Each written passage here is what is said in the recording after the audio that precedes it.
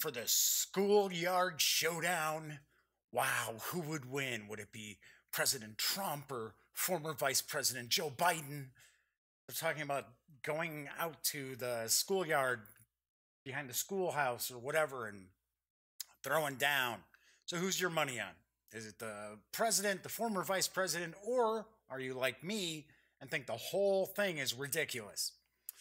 I don't know. I don't know what to tell you. All I can say for sure is the Daily Dope is in the air.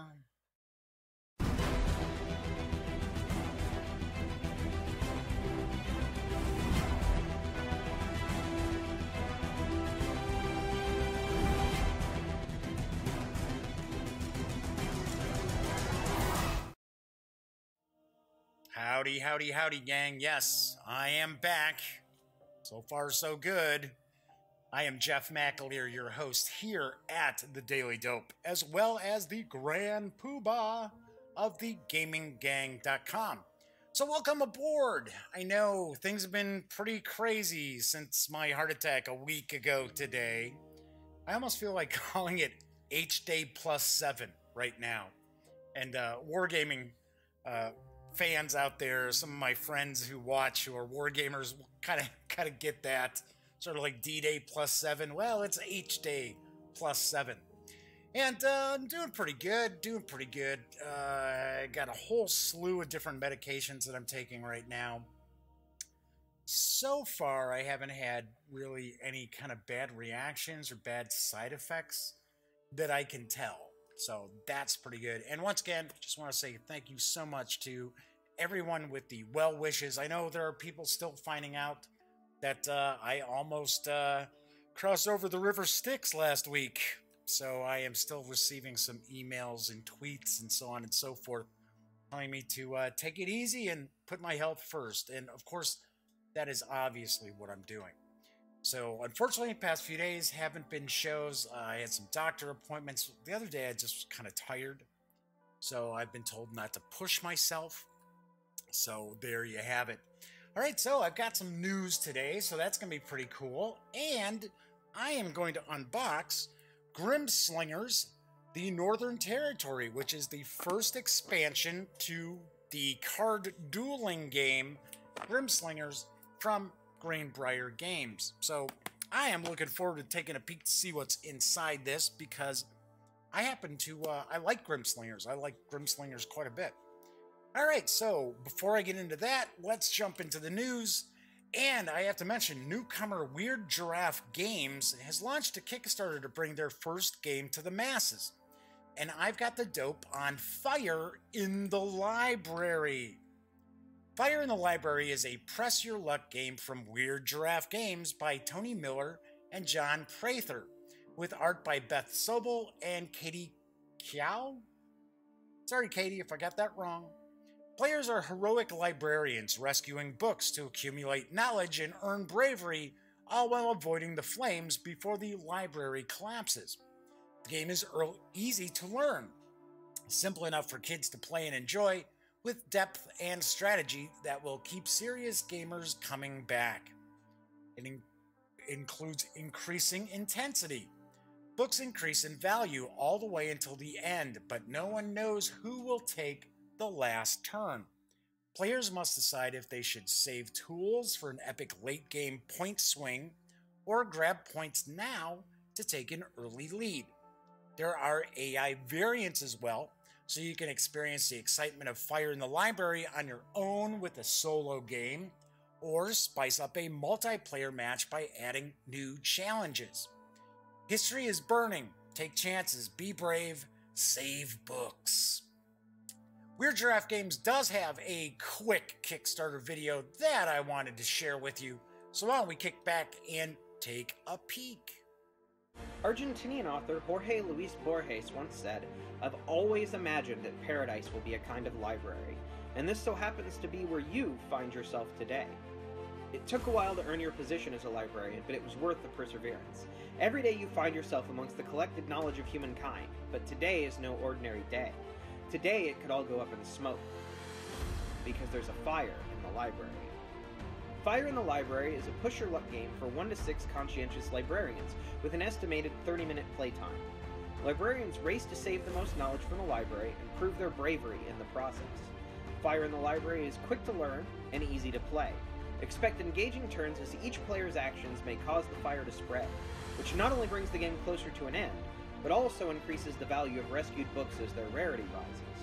Strategic manipulation of the variable turn order and the variety of tools available will aid the canny librarian on their path to victory. Hi, I'm Tony Miller, co-designer of Fire in the Library.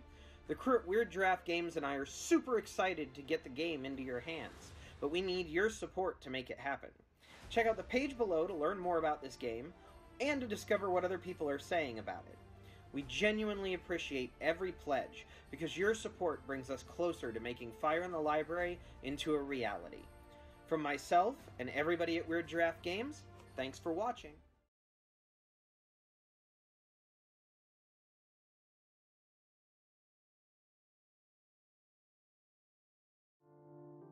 That video actually ended a bit more abruptly than I had recalled.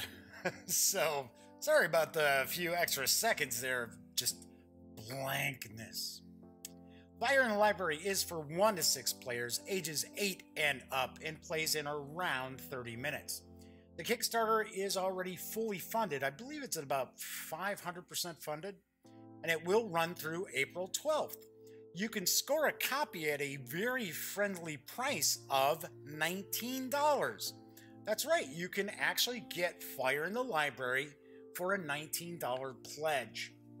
Seems like uh, that's really good deal. Pretty good deal. Anyway, I don't really know anything about the game. I can say that on the Kickstarter there are quite a few playthroughs and how to plays and reviews from various people. A few are shills, yes, a few are the known shills that just hand them some cash, they'll say any Kickstarter's good. But there are some videos from folks who are not uh, known for that. All right, anyway, moving right along. I tell you, do the people at Renegade Game Studios even sleep? Because they've revealed another new game which is coming this July, and it's called Spy Club and it should appeal to gamers of all ages as you look to solve a variety of mysteries. Here's the dope Spy Club is the next big release from the incredible team at Foxtrot Games, who are behind the smash hits Lanterns the Harvest Festival, The Fox in the Forest, Sunday Split, and World's Fair 1893. Okay, well, Lanterns and World's Fair are, are smash hits. I don't know if I would necessarily call the other two titles smash hits. But regardless, you can find clues and catch the culprit like your favorite neighborhood detectives. Work together in this cooperative game to confirm clues and uncover the mystery. But watch out! Don't let the suspect interfere or escape before you can crack the case. Unlock new adventures and other secrets that change the game every time you play. With 40 replayable modules and a way to play five games connected together, you'll always have fun stories to tell and new content to explore. Spy Club features working together to find clues and catch the culprit. You unlock new adventures with every game you play, and as I previously mentioned, there are 40 replayable modules. Spy Club is for 2 to 4 players, ages 10 and up, plays in about 45 minutes and will carry an MSRP of $45 when it arrives in July. Hmm, looks interesting, interesting. Although I have to admit, Spy Club doesn't really seem like the right name for this game. Maybe Sleuth Club? Because you're not taking on the roles of spies, you're taking on the roles of like amateur detectives, right? I don't know. I just thought Spy Club was an kind of oddball title for the game. I'm not necessarily saying it's a bad game, just saying Spy Club is kind of an oddball name. All right, one thing I should mention, should have mentioned this as I began the show. There is chat available both through Twitch as well as YouTube. It's just not on screen. So I keep the uh, kind of lunatic uh, commenters sometimes at bay. Thankfully, I don't get too many of those. but I did want to mention that yes, chat is available. All right, so WizKids have, has a new game that just arrived on the scene, and it's a family friendly dice flicking game called Kung Fu Zoo. And I've got the dope. If you hung around your local zoo after it closed for the night, you'd see the nighttime rituals of the exotic animals you visited during the day. You'd see cages being cleaned and souvenir stands being restocked.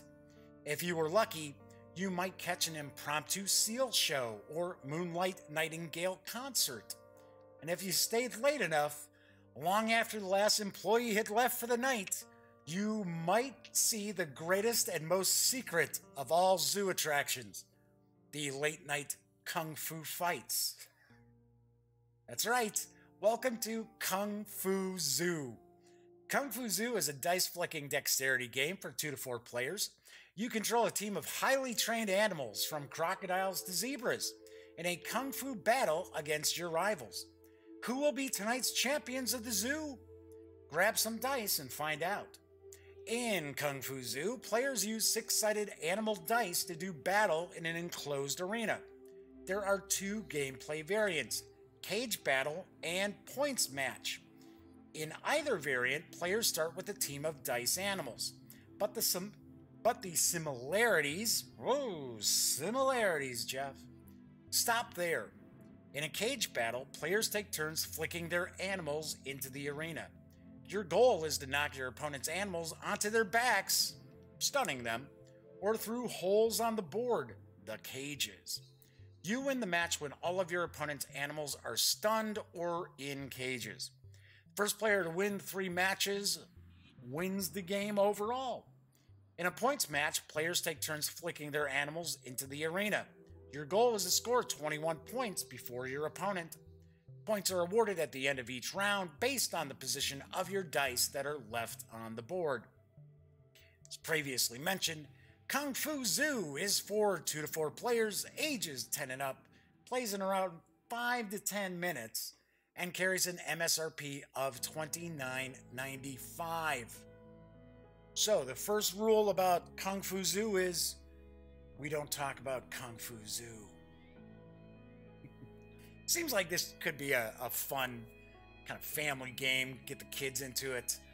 Uh, I like the dice. The dice look pretty cool with the various unique symbols representing each of the animals.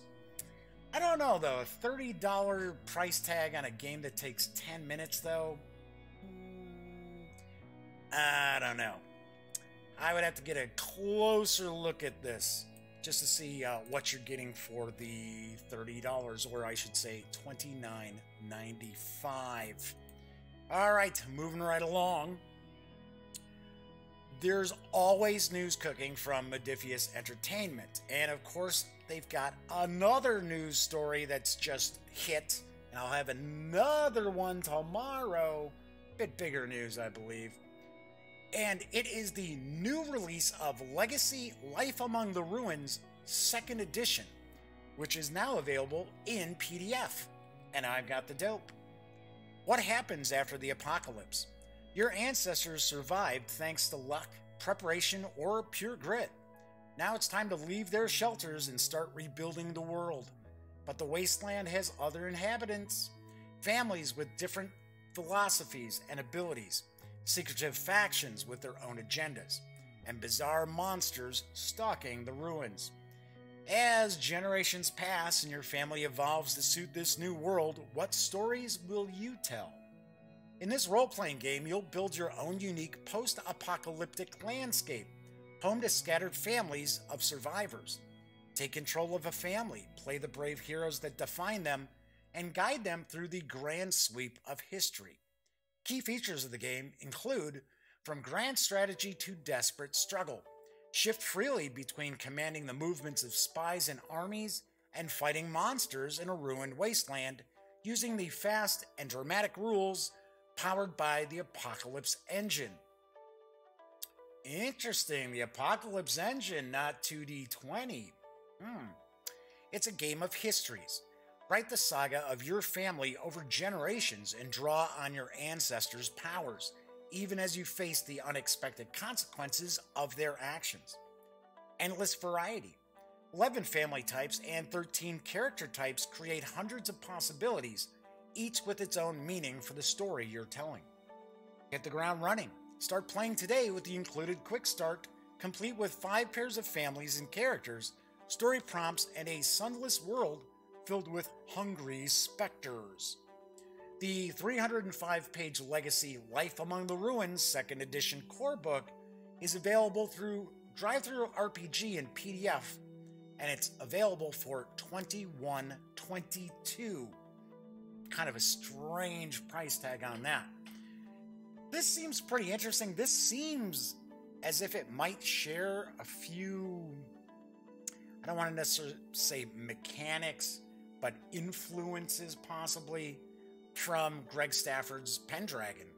Because Pendragon, same sort of thing. You're actually you're role playing your knight, but you will go through various generations, especially if you're playing the Great Pendragon campaign, which is amazing. Anyway, so I would uh, I'd be interested in taking a peek at this, and it's I also thought that's kind of unusual that it's actually built upon the Apocalypse engine and not a 2D20. So uh, I have to take a peek. I'll have to take a peek. But this does seem pretty interesting. And it is only available in PDF. It's not available in print, at least not yet. And as I mentioned, if you are going to DriveThru RPG, always swing by thegaminggang.com first. Click on one of our banners. If you happen to make a purchase at DriveThru, then we get a small portion of that sale. And uh, trust me, these days, every little bit is going to be critical to keeping the gaming gang around. Okay, so my final news piece I have to say, I don't really talk much about video games, but when I do, you already know it's either something I've been playing and having a great time with, or it's a series which I pick up every year religiously. And Out of the Park Baseball happens to fall into that latter category, and this year's edition is now available. Here's the dope. Out of the Park Developments, an official licensee of MLB.com, the Major League Baseball Players Association, and MILB.com, announced today that Out of the Park Baseball 19 is available worldwide ahead of the start of the 2018 Major League Baseball season on March 29th. OOTP 19 offers dozens of exciting new features and deep improvements to its award winning gameplay, including a dramatic 3D in game engine that shows players pitching, hitting, fielding, and running the bases. Images of the new in game engine can be found uh, actually in the uh, slides that I'm actually showing off. Out of the Park Baseball 19 includes new 3D stadiums and 3D player models with improved on field movements including running, sliding, jumping, and throwing. New in game screen design for an optimized visual dugout. 2008 roster sets with all opening day Major League Baseball rosters, as well as the complete minor league system from AAA to rookie leagues and the Arizona Fall League. All Major League and over a thousand minor league players have been rated, and it's based on the popular ZiPS player projection system. There's also the eight international leagues, as well as independent minor leagues in the US, and they also return this year with accurate rosters. There's rewritten scouting reports that give a more detailed and realistic look at players. There's new tournament modes. Create a standalone tournament bracket and draw any teams from history into it. The possibilities are endless an ultra realistic AI roster management and in game decision engine. There's a reworked ratings module, user voting for end of season awards, and much, much more. This summer, Out of the Park Developments will unveil an exciting new online mode called Perfect Team. An open beta will happen this spring, and the company will announce more information soon. I go way back with OOTP. As a huge baseball fan, I can tell you straight up that nothing comes close to out of the park baseball as far as realistically simulating the sport. And it doesn't matter if you're replaying a season drawn from the annals of history or if you're taking a look into the future of America's pastime. As I mentioned previously, OOTP 19 is available right now for PC, Mac, and Linux for $39.99.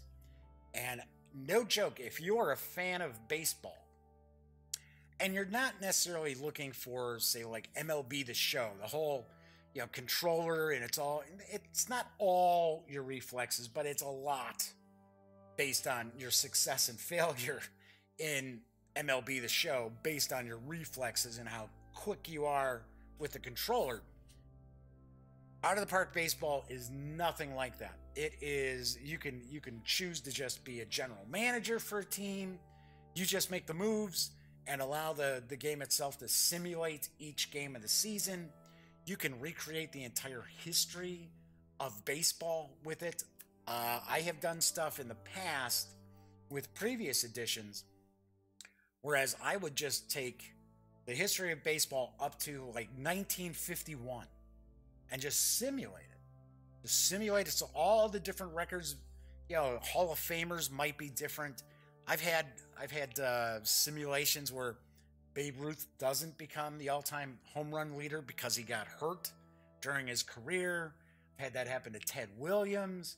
I've had Ted Williams become like the greatest hitter of all time because he didn't go and serve in World War II or Korea. Just really wild, wild stuff.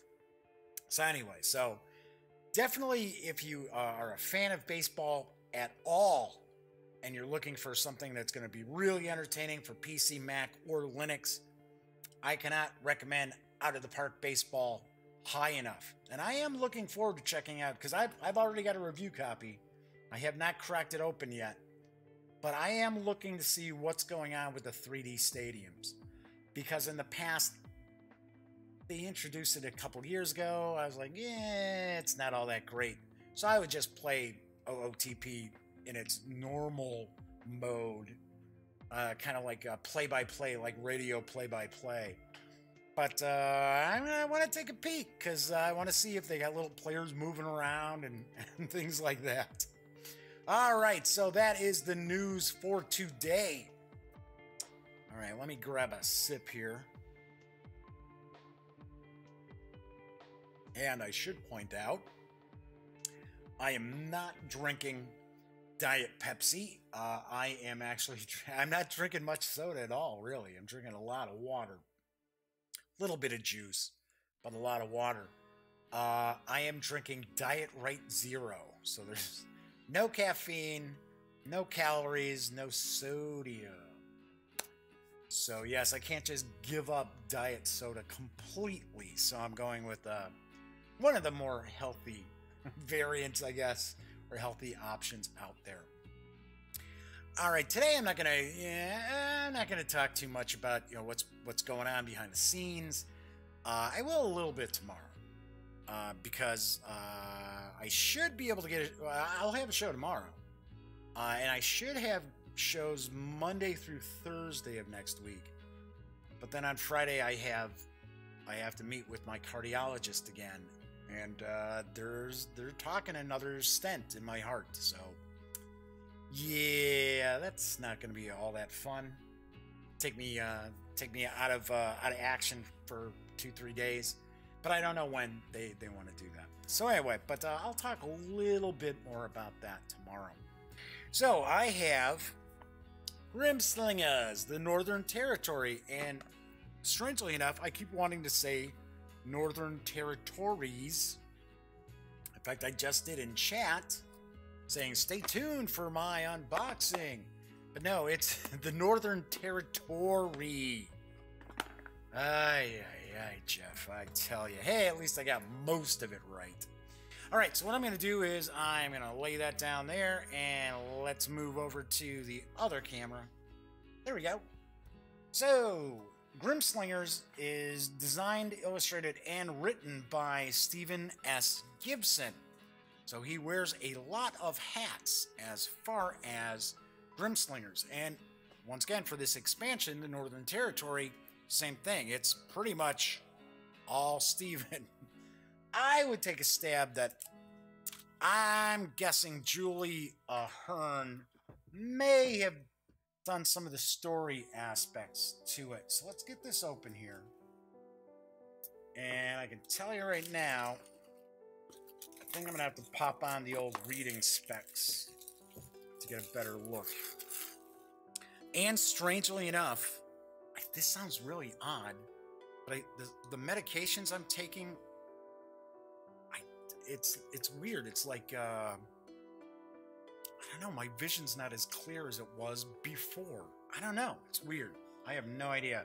I also find that uh, having kind of a hard time focusing on something for an especially long time. So, for an example, uh, working on the website, doing news pieces and that, I would usually just be able to do, you know, four, five, six, ten news pieces, yeah, all right after each other.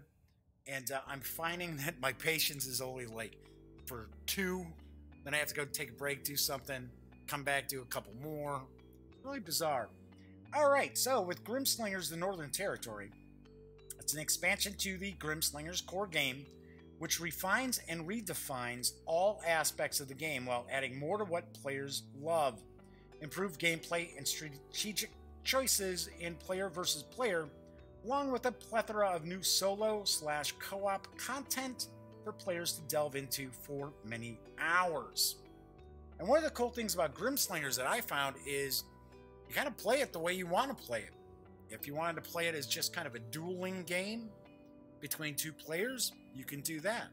If you want to play it as kind of a, a big epic, uh, create your own adventure where you're battling like non player character monsters and stuff like that, you can do that.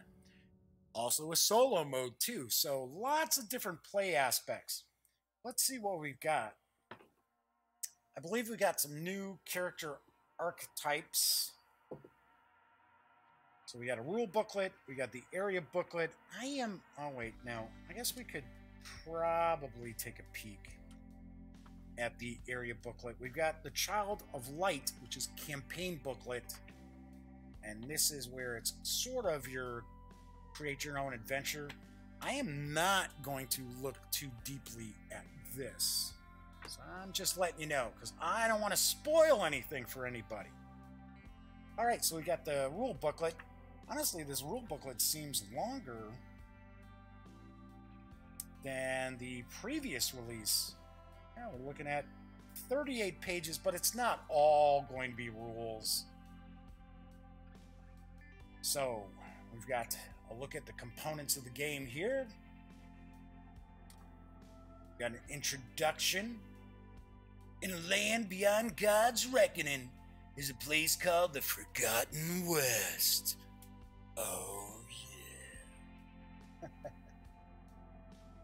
it it does have uh, Grimslingers does have kind of a kind of a cool weird west slash steampunkish slash fantasy fantasy magic vibe to it. It's a very very original setting. I'll tell you that much.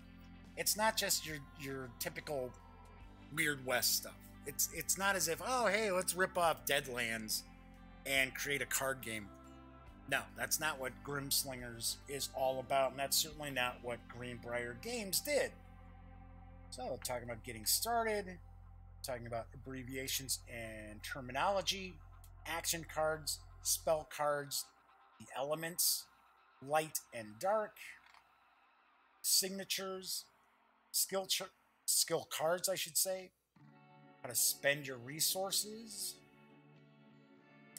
my understanding is there there are a lot of kind of rule changes in this expansion that it's radically changing the way Grimslingers plays. I don't know for a fact, but that is kind of the vibe I have gotten uh, about this expansion. That it's it's going to radically change some gameplay elements, and it's going to focus a lot on what a lot of the, the players like best about the game. All right, so we've got EP trackers and animas. Got the characters, so it's going to talk about the new characters. And yes, you're going to be able to play a dog, a cat, I think a bear. Uh, no, maybe not a bear. I think there's like a bear um, sidekick. Got target cards versus setup. That's one of the aspects of Grimslingers. It's pretty cool when you're starting, uh, when you're playing like a, a multiplayer kind of duel, where you actually have to target other players. It's pretty cool. And what I'm going to do when I do the review for this, and unfortunately, the review for this probably won't be until uh, maybe a couple weeks. I don't know if I'm going to get much gaming in today. I was supposed to go cover it, uh, not today, this weekend.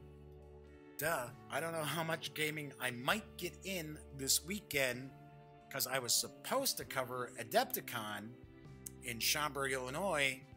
And uh, right now, I can't drive until I talk to my cardiologist on the 29th. So, not doing that. I don't know. I don't know if I'm going to get over to uh, my brother Greg's house to play some with my nephew and his friends. I don't know yet. All right, so we've got the versus duel, starting a duel, how to duel, examples and card clarifications. I don't recall uh, the original Grimslingers having as many um, examples as far as images. Because if I remember correctly, when I was yeah yeah I am remembering correctly when I first uh, started to learn how to play Grimslingers, I actually had to go check out Stephen S. Gibson's uh, videos to uh, to learn how to play it because it was just it's a it's a really cool game, but I don't know, it's just something about the rules weren't clicking in my head. Right, so we got the solo and co-op mode, the story booklet, the area booklet, area movement, setting up an area, bounties, tall tale game space. Yeah, see, I I don't recall setting up so much stuff for uh, the multiplayer co-op. Got adventure turns, creature duels, resolving a creature duel, talking about the creature duel turn. I will admit, Grimslingers is not the sort of game that you can just jump right into. Now, the just the dueling aspect of the game is relatively easy to wrap your heads around, and uh, you may actually be able to find the uh, the little introduction to the system, which is Grimslingers Duels, uh, somewhere online through like the secondary market. Anyway, so we've got the items in the tall tale, defeat, game over, ending a game session, continuing from a previous session, and, and clarifications for tall tales, plus a glossary at the end. So all in all, you're really looking about 36 pages, 35 pages of rules. So as I mentioned, not as not as easy to jump into as some other card games may be out there, but I will point out it's well worth it. so all right, so we're just going to take a quick peek talking about the Northern Territories. So we've got Red River, Gates of Hell, the Northern Outskirts, the Great Deep, down Under, and Valley of Death. Talk about the area layout. Oh, looks like, uh, well, maybe we won't look too closely into this. Because it looks like uh, we've got some of the create your own adventure stuff going on. So, but uh, this is the new territory uh, with an all new uh, campaign that can be solo, or you can also uh, play through it co-op. And we got the campaign booklet. I'll just zip through this real quick. So nothing's going to be given away. Chapter one.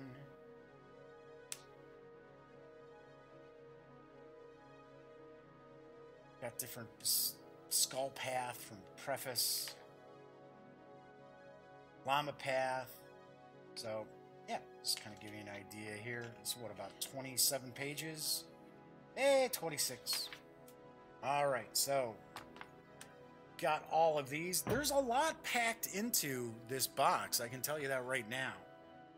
When I first received it, uh, I picked it up. I was like, "Whoa, hey, that's that's quite a bit heavier than I was expecting." All right, so, huh? We got an achievement tracker. It's a whole pad of paper here. Progress tracker. There you go. Nice.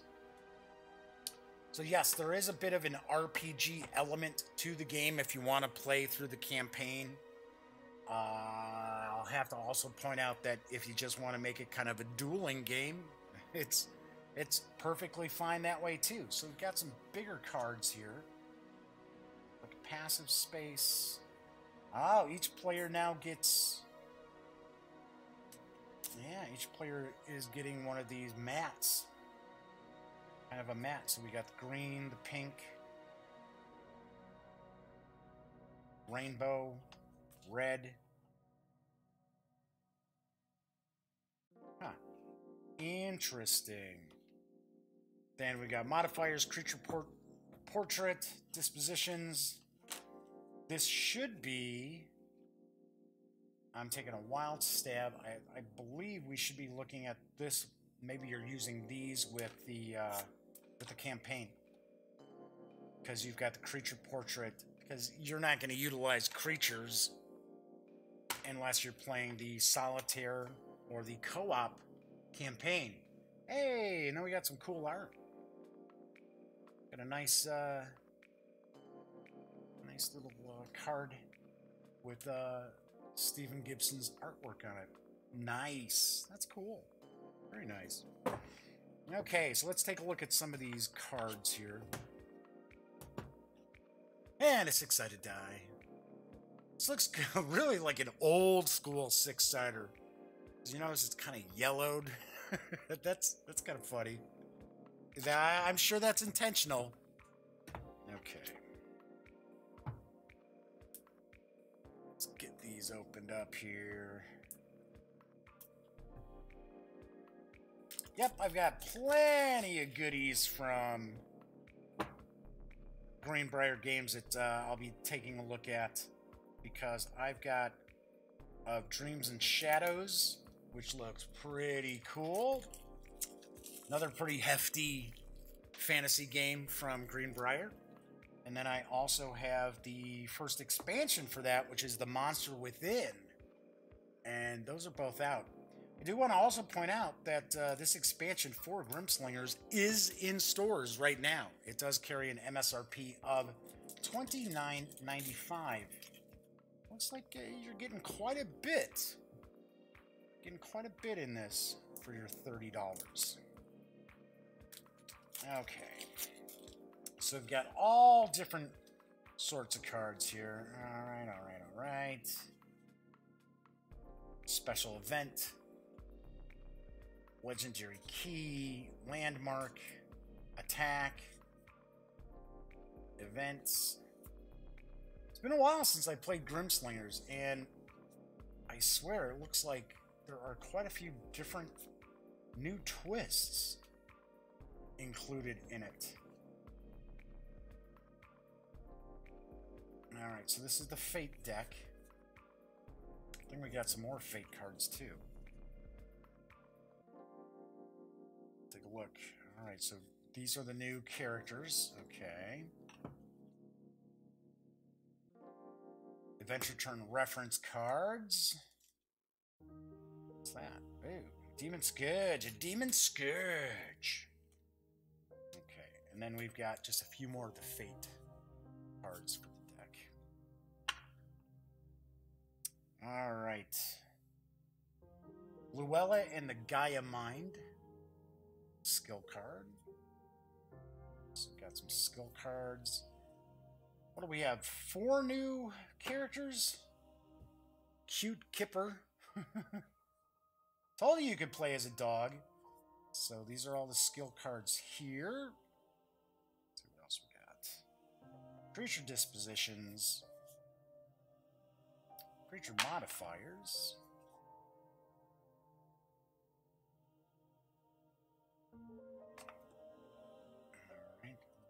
bullet chamber, ammo belt.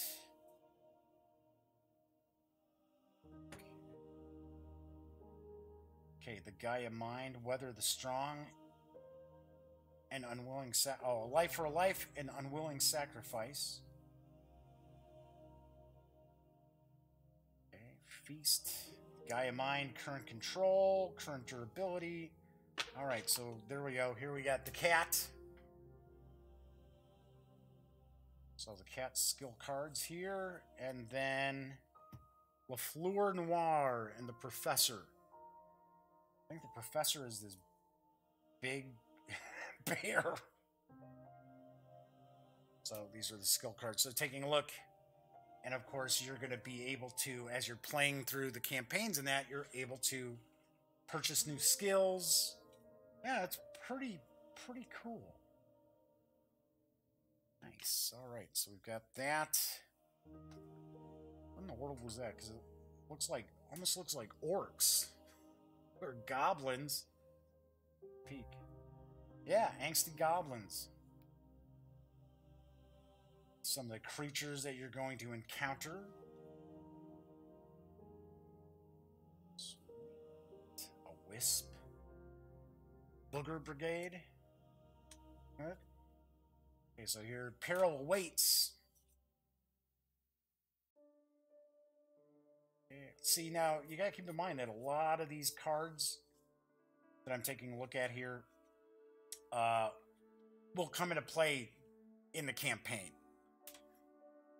Like the creatures and things like that. See, okay, so we've got general creature skills. Got the Wisp, Soul Hunter, Nude, Nude Tower. It's like a Minotaur. Magic Mushroom.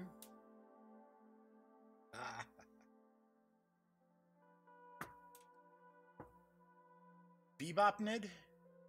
Bebopnid? It looks like a giant spider. And the Angsty Goblins. So these are new creatures that are in included in this new campaign. Nice. There's a whole lot of goodies in here. And we've got some reference cards. Looks like we've got two reference cards here for the adventure turn. Nice. Take a look at some of the skills. Charge chamber. This is for the cat. Feline springboard. Gun kata. uh, cardstock's pretty nice too.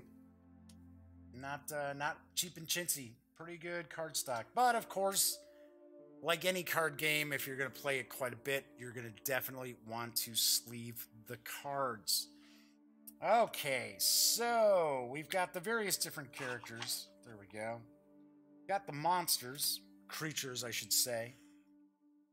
And then their skill cards. Got creature modifiers and creature dispositions here. Yeah. Got the peril awaits. Adoring fan. Yay. Angelic encounter, a rare beast. So even with um, the kind of uh, create your own adventure vibe to the kind of the adventure books, because you have a variety of different cards that you're utilizing throughout the game, you get a lot of replayability from the campaigns. So, oh, what was that? There we go. All right, something popped up on my monitor again. Too new. I got. I should go in my um, firewall and block. I keep getting this little like box that pops up and it's like, oh hey, the new update for whatever is available to buy, and it's like, yeah, well, I don't want it. All right, so we've got Bebop Crystal, Demon Ash. Here are some of the items. Mushroom Brain.